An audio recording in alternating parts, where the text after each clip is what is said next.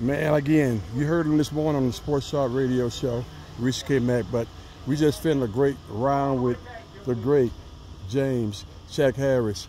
And trust me, I, I, I have to even explain to you what he's all about. Google him, you know what it's all about. But, Coach, why you support Coaches Hayes, Coach uh, Bill Hayes and Carolyn Foundation golf tournament?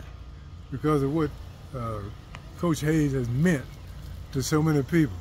You know, he's been a, made a difference in the lives of all his players that he's touched.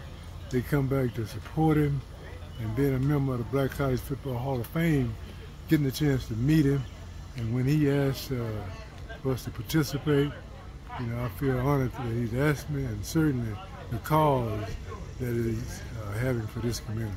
Uh, obviously, Coach Hayes is a great coach, but you played for one in college.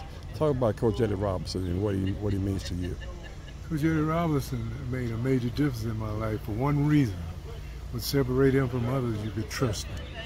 And as an 18-year-old, you come into school, and everybody who had challenges, most of the time you got challenges, he had answers.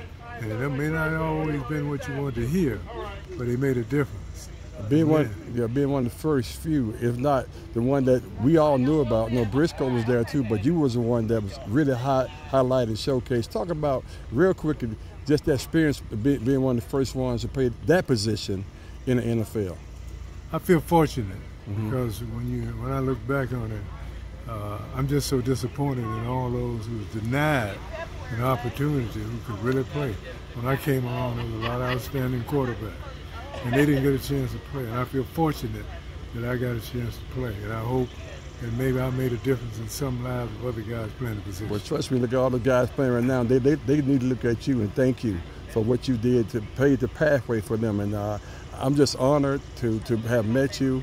Uh, I, look, I knew you from afar, but it's even a blessing to be here in person. So thank you for what you did for black college sports, black men, men in general. Thank you so much for what you've done. And thank you. All right, take care, Coach.